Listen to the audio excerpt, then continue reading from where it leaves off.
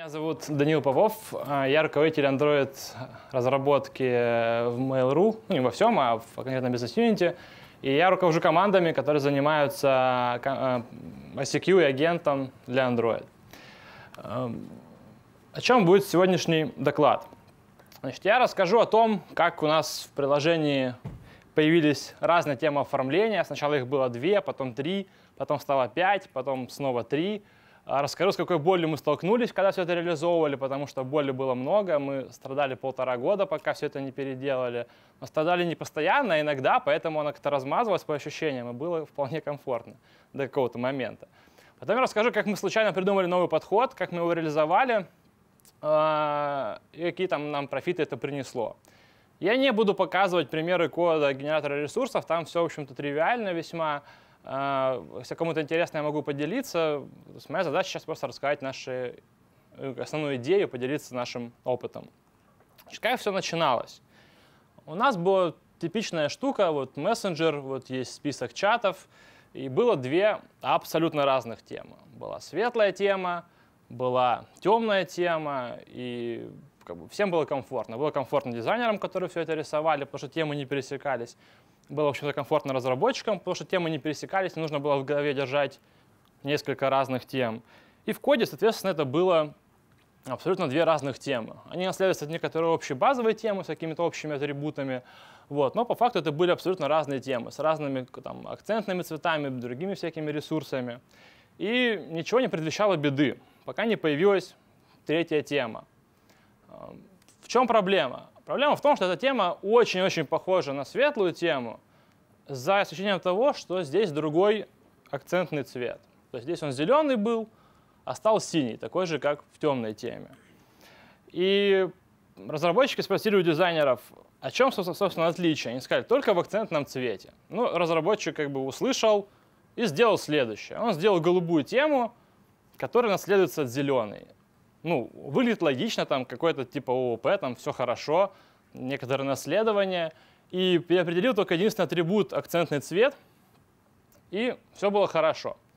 Но в какой-то момент э, тема начала расширяться голубая, в ней появились какие-то другие атрибуты, которые не совпадают с зеленой темой, еще какие-то ресурсы, которые не совпадают, там drawable, color state листы. И в какой-то момент это все превратилось в большую-большую кучу непонятного XML-кода. XML-разметки. Э, в чем была, собственно, проблема? Вот разработчик получал на руки новый макет, он видел какой-то там новый цвет, и ему нужно было в голове держать все темы, потому что он должен был помнить, какая тема такой наследуется, потому что если он переопределит атрибут в базовой теме, он может нечаянно поломать какие-то другие темы. Если он переопределит атрибут там, только в наследнике, но не переопределит в базовой теме, он, может быть, не затронет другую тему, хотя должен был затронуть. И разработчик постоянно был в напряжении, потому что он вынужден был помнить в голове, так, ага, значит, голубая тема, так, она следуется зеленой, если я поменяю в зеленый, я поломаю голубую, там что-то еще. Потом в какой-то момент появились еще светло-зеленая и светло-голубая тема, это просто было дичинский ад, потому что они все наследовались от соответствующей зеленой и от голубой, и получается, что светло-голубая наследуется от голубой, это от зеленой, и то есть там разломать что-то, просто поменяв не в том месте атрибут, было очень легко.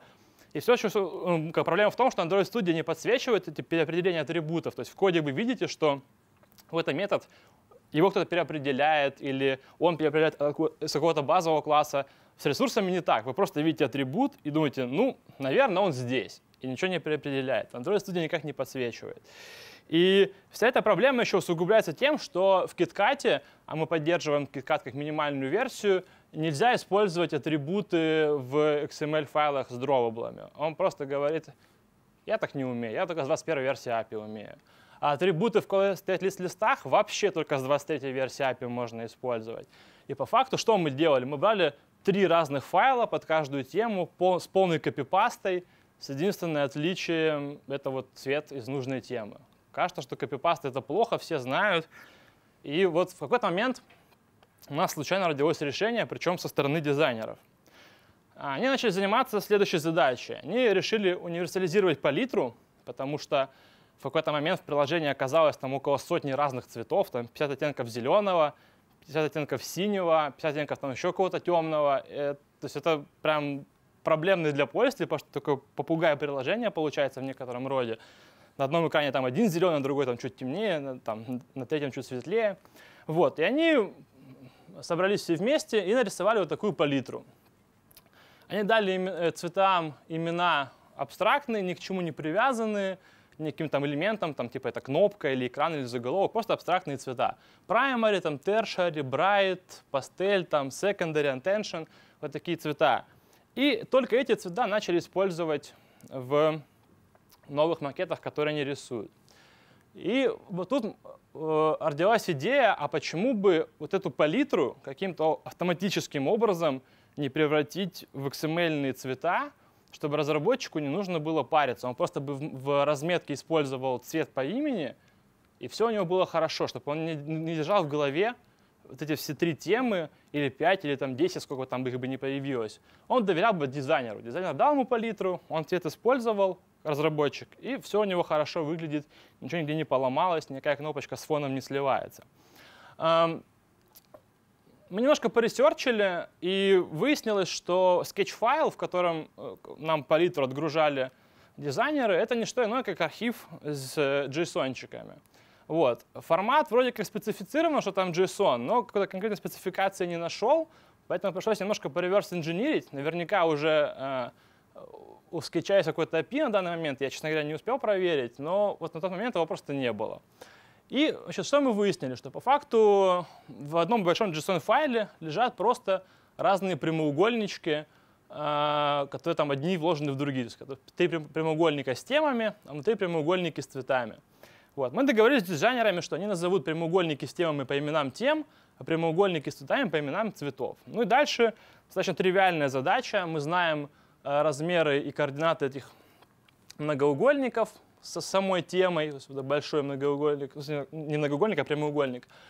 И мы знаем прямоугольники с цветами, их размеры и координаты, знаем сами цвета, и такая задача из геометрии седьмого класса понять, какие прямоугольнички в каких находятся. И таким образом мы получали на выходе XML-файл, ну, по факту три XML-файла, по одному на каждую тему, просто с палитрой цветов. А там так и было. Primary — такой-то цвет, там secondary — такой-то, там attention — такой-то цвет. И разработчик эм, просто в своих э, в верстке использовал эти цвета и радовался. Ему не нужно было переживать, что он что-то поломает. Но потом в какой-то момент мы подумали, а если мы уже автоматизировали работу с цветами, почему бы не пойти дальше и не автоматизировать все ресурсы? Потому что работа с темами через атрибуты — это достаточно такая болезненная тема в Android. Одни цвета — это такая лишь маленькая часть темизации. И мы решили вернуться к нашей проблеме с киткатом. Мы подумали, раз мы делаем копипасту три раза одного и того же файла, меняя там буквально одно значение, почему бы не сделать это шаблоном? И мы так и сделали. Мы заменили сам цвет вот на некоторый такой э, placeholder — наш инструмент автоматизированный просто берет нужный цвет из палитры и сам генерирует три разных файла, по одному на каждую тему подставляя правильные цвета. Там, соответственно, primary превращается в primary green, primary dark и primary blue для трех разных тем. И мы это сделали, попробовали и подумали, а почему не пойти еще дальше? Ведь мы и дроблы можем в дроблах использовать. И мы сделали такую же штуку для дроублов. Мы сделали э, шаблонизирование дроублов, в которых можно использовать другие дроблы, которые тоже тимизируются, потому что кнопочка там в нажатом состоянии, не в, нажатом, там за дизейбленном. Ну и по аналогии мы сделали color state list листы. Раз уж все шаблонизировать, почему бы и нет. И после этого, как вообще у нас собирается теперь тема?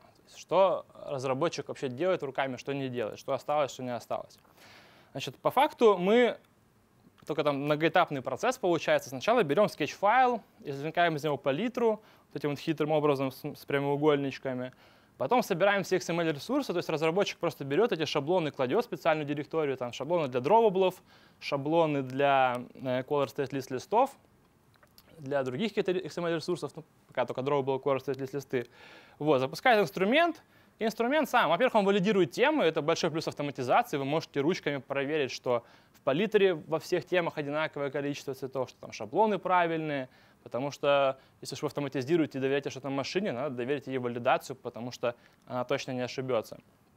Вот. Ну и в итоге генерируем файлы с самими, самими темами. То есть мы собираем все эти атрибуты для цветов, для дроваблов, для color листов, сами эти ресурсы генерим, ну и делаем файл с темой, который мачит эти атрибуты на нужные ресурсы. Значит, с разработчиками мы договорились э, о следующем как, правиле преобразования имен, так что ли можно сказать. Цвет из палитры преобразуется в такой атрибут. Мы делаем префикс color, а дальше upper camel case называем сам цвет из палитры. По аналогии с drawable ресурсом, если разработчик назвал шаблон именем chat-header.bg, то в коде он может его использовать по атрибуту drawable chat-header.bg. Но Android сам, сам разрезовывает в нужный ресурс в зависимости от темы. И то же самое с color state с листами.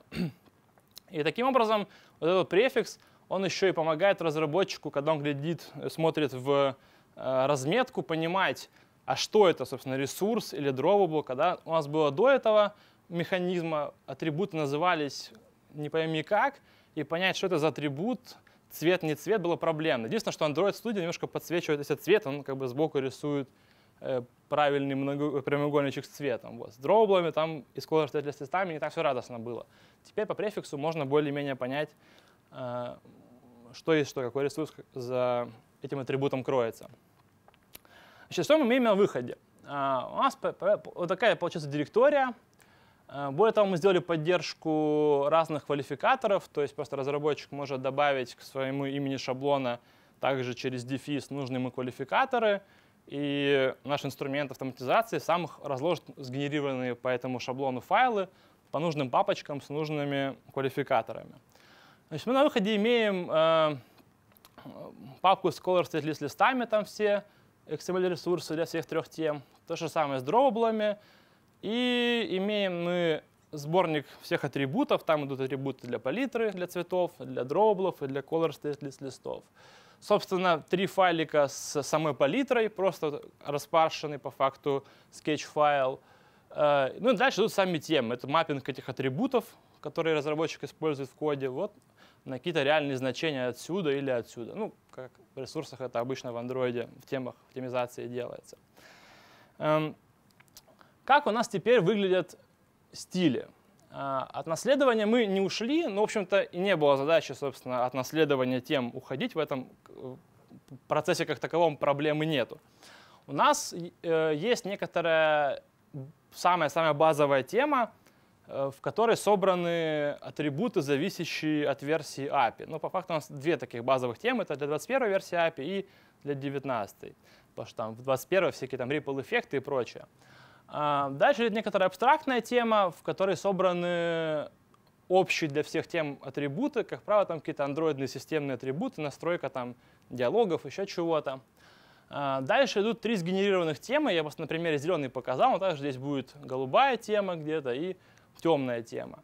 Ну и, к сожалению, пока остались конкретные темы, которыми мы уже оперируем в коде, которые наследуются сгенеренных, потому что пока не удалось не все ресурсы автоматизировать и перетащить вот эту автоматическую сборку. Об этом чуть позже расскажу.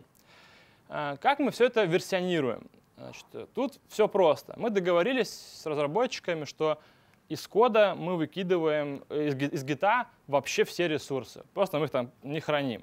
То есть то, что вы видели на предыдущем слайде, там вот эту э, э, папочку с, с результатом, она на самом деле лежит в папочке build э, проекта под игнором гита, и каждый раз раз, пересобирается, если разработчику нужно, он это делает, получает ресурсы, работает с ними. В гите мы храним только сами шаблоны, из которых эти все ресурсы получаются, и собственно, Sketch-файл с палитры, который нам отдает команда дизайнеров. Вот. А все остальное, атрибуты, темы, палитры, все это мы в гите не храним. И тоже чуть позже расскажу, почему. Как у нас теперь выглядит сборка проекта? Значит, у нас есть э, простая тасочка, которая дергает э, батничек для сборки. На самом деле мы от этого уже избавились, от этого из Windows, оно всех дико бомбило. У нас был один чувак, который сидит на винде. Вот, но от этого ифа удалось избавиться, мы вообще от батников избавились. Ну, тут немножко старенький код остался, буквально вчера переделали. Ну, суть таски, что она просто запускает некоторый генератор ресурсов. А, дальше мы эту таску вешаем зависимостью на этап сборки ресурсов, мержа ресурсов, то есть как только Android система сборки начинает мержить ресурсы, он запускает сначала нашу тасочку, а потом весь процесс с, мерж, с мержем ресурсов идет дальше. Вот, и, собственно, надо сказать Gradle, э, где лежат ресурсы, что они могут не только в папочке res лежать, а в некоторой другой. Как я говорю, вот в build директории, они вон там в своем месте лежат, и о них знает Android Studio, что приятно, то есть у вас по-прежнему работает навигация по коду, там Ctrl или там CMD с, кликом на ресурс, вы можете перейти в атрибут, посмотреть его, там Find Usages, то есть все работает как с вашими обычными ресурсами, потому что мы сказали Gradle по факту Android Studio, где еще могут лежать ресурсы. Как теперь это выглядит в макетах? К сожалению, э, Zeppelin не умел на тот момент, когда мы этим занимались, э, хранить в цветах вот такие вот имена. Он подразумевал только RGB значения. Мы там в поддержку написали ребятам, они обещали поправить. Но пока дизайнеры выходят не очень таким красивым способом из положения, они вот такие выноски делают по цветам. То есть разработчику такой макет попадает, он смотрит, ага, вот этот там цвет primary, там заголовок, там текст solid, эти бейджики, там, э, там attention цвет, еще что-то. Все он просто смотрит и когда верстает э, этот макет, он в коде, собственно, так и использует. Вот эти атрибуты, которые автоматически получились, он просто смотрит, как они есть в макете, помнит правила, как они преобразуются в атрибуты. Эти атрибуты, собственно, в коде использует в разметке и радуется, что в голове ему не нужно держать эту всю сложную тимизацию с наследованием, еще чем-то. И по факту мы получили такое некоторое э, разделение ответственности. То есть раньше разработчик мы отдали макеты, а он переживал, так, где мне поправить атрибут, чтобы ничего не разорвало, не разломалось, не стала черная кнопочка на черном фоне. А теперь, на самом деле, процесс выглядит примерно вот так. Есть дизайнер, который всем этим заморачивается, он смотрит в скетче или где-то в другом инструменте, как э, эта палитра ложится на все три темы, подбирает правильные цвета. Разработчик, в общем-то, весьма тупо эти цвета переносит в разметку, и в голове это все не держит. То есть мы так Э, не то чтобы разделили ответ, ответственность, мы так переложили ее немного на дизайнера. То есть разработчика осталось только правильно все это в коде, в разметке использовать. И после того, как мы перешли на, на эту всю э, историю с генерацией ресурсов автоматической, тем вернее, э, возникла проблема, как, собственно, избавиться от старых ресурсов, потому что там их было полно разных. Я уже сказал, у нас было там около там больше ста цветов разных, там куча drawable ресурсов, еще чего-то. И тут мы, было два пути. Первый — это переделать все разом, просто сесть разработчику, дизайнеру, переревьюить все старые макеты, подобрать правильные цвета из палитры, потому что в палитре всего там около 20 цветов, 25, а раньше было около сотни, то есть они один в один не матчатся, нужно было подобрать, сесть и потратить на это время. Плюс очевидны, приложение выглядит консистентно, у вас нигде не будет разных зеленых цветов на разных экранах, но это требует больших э, затрат со стороны дизайнеров, разработчиков и временных, и концентрационных. Нужно просто сесть, вот так, сконцентрироваться и сделать это. Это тяжело, поэтому мы пошли по второму пути. Мы переходили постепенно.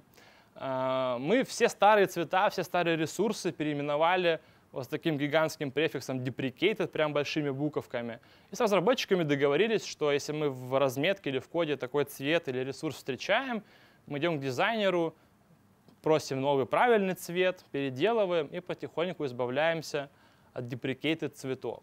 Вот. Мы уже на, на данный момент от них почти всех избавились, там в коде осталось буквально с десяток. Вот. Э, но Минусы тоже, в общем-то, очевидны. Вот эти deprecated ресурсы лежат в коде, нервируют, раздражают.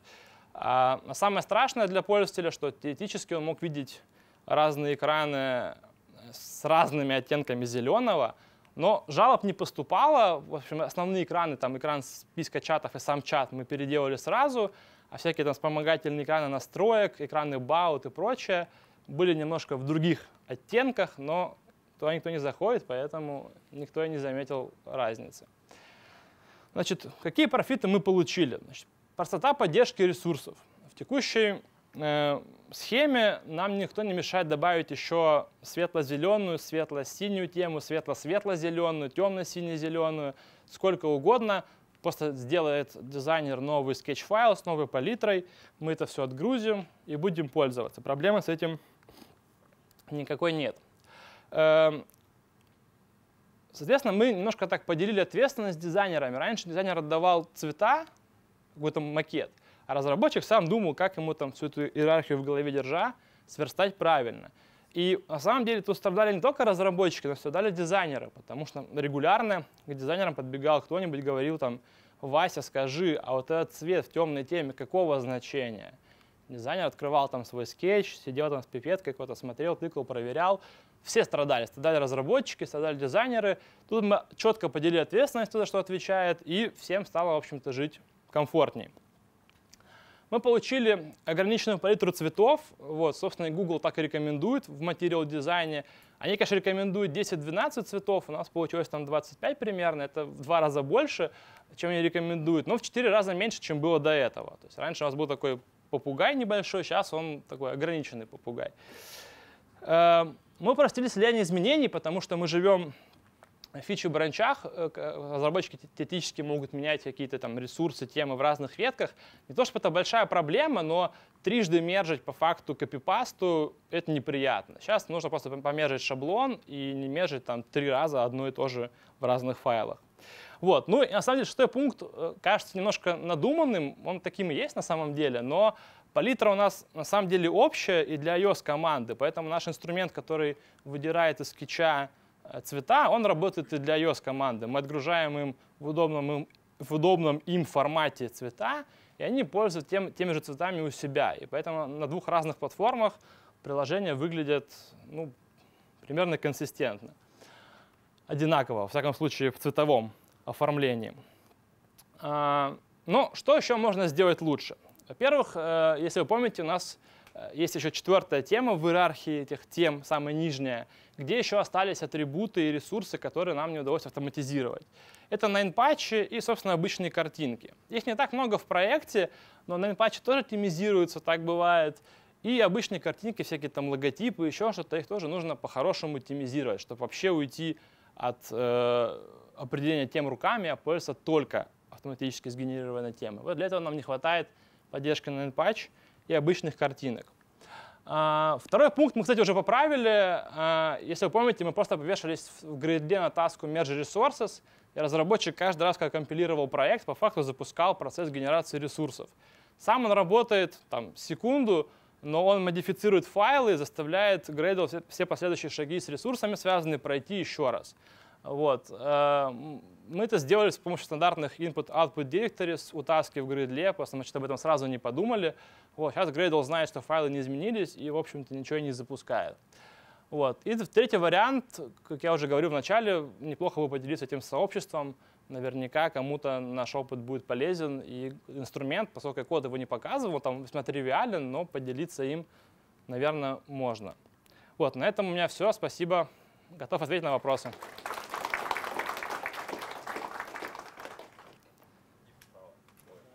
А, поднимайте руку, и можно будет спрашивать. Да. А можно только попросить вставать, когда задаете вопрос? Конечно. Привет. Привет. А скажи, пожалуйста, а как много пользователей переключают тему? А, примерно 30% людей сидит на темной теме. Из оставшихся 70 примерно половина на голубой, половина на зеленой. Очень круто. То есть вы как-то... просят красную тему, я не знаю, зачем она им нужна, но они хотят. Ну, как бы в текущем варианте нам не сложно добавить и красную, поэтому чего бы и нет.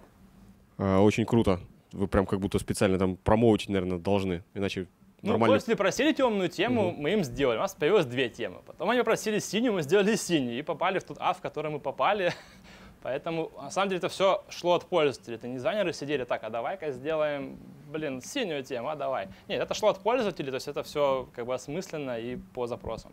Окей. А вот скажи, пожалуйста, значит, э, все равно процесс автоматизировался по большой части, но осталась э, ручная работа, и автоматика тоже может давать сбои. Как вы проверяете, что все собралось, все нормально, у вас там 4 темы, там 5 тем? Как, ну, кто, кто проверяет, что все 5 тем актуальны и нормальные? Какими а, инструментами вы пользуетесь? Сама э, утилита генерации проверяет, на самом деле, что как минимум палитра пришла в правильном варианте, что в во всех темах правильные цвета, одинаковые по названию, одинаковые по количеству.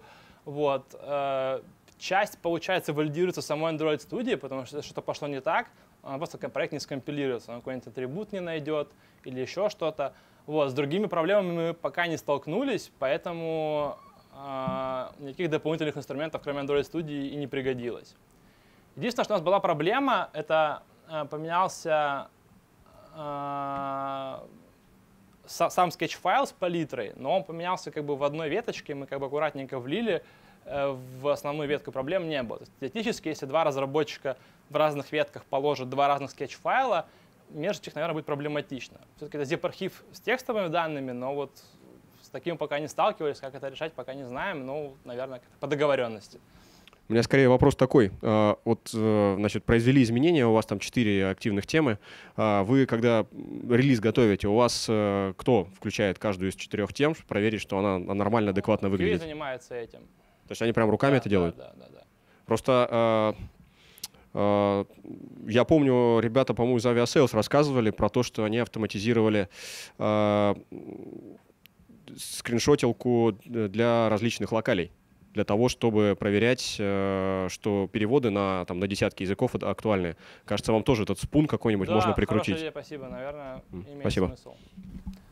Ну, переводов, у нас переводов там тоже 16 разных языков, там тоже веселуха.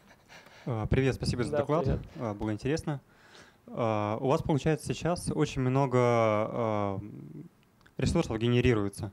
Вот, и насколько это усложняет сборку проекта и подготовку проекта перед, ну, перед запуском студии? Да никак. Сам проект генерации занимает там полторы секунды. Вот. Потом починили, чтобы это делалось не на каждой сборке проекта, потому что когда ты дебажишь, это mm-hmm. дико бессилово. Он пересобрал ресурсы, да. перекомпилирует R-файлы, все пересобирает. Сейчас этого нету, и, в общем-то, это перегенеривается только так, когда ты сам меняешь эти ресурсы, шаблоны или палитру. В большинстве случаев, когда ты не работаешь с UI или mm-hmm. не трогаешь темы, тебя это, в общем-то, и не касается. Вот если, например, а, дизайнер решил добавить какой-то новый цвет в палитру. То есть это, ну, все тоже нормально сгенерируется. Да, такое было один раз. Мы просто дали новый Sketch-файл, uh-huh. мы его положили в репозиторий, вот, и все. И больше этого ничего не трогаем, потому что сами ресурсы итоговые мы не храним под гитом. Просто разработчики uh-huh. все рано или поздно себе его подтянули в свои ветки там или что-то еще, и вот перегенерили ресурсы, потому что как бы там версия-то изменилась, он перегенерил раз, и все, локально у всех актуальные версии, на Jenkins там своя актуальная версия, то есть проблемы с этим пока не было. Спасибо.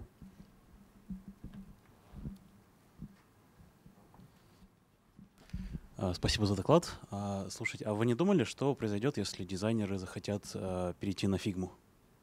Что еще раз? Э, захотят на фигму перейти, если они, то все сломается или они... как? Поясни, пожалуйста, я, наверное, не Ну, фигма — это такая новая, ну, как замена скетча, условно. А, ну... Кроссплатформенный утилита? Не знаю. Не было планов наверное, таких? Наверное, их побьем тогда. А, хорошо. Ну, как бы наверняка э, там можно сделать что-то похожее. Вот, что Zeppelin страдает, у них API весьма убогенькая, поэтому приходится вот такой вот костылестроением занимается, и у скетча тоже какого-то API нету. Может быть, у фигмы там с этим получше, может быть, даже лучше будет. Но пока э, лицензия проплачена надолго вперед, и как бы э, Понятно, Zeppelin спасибо. мы не планируем слезать. Я видел рук. Ага.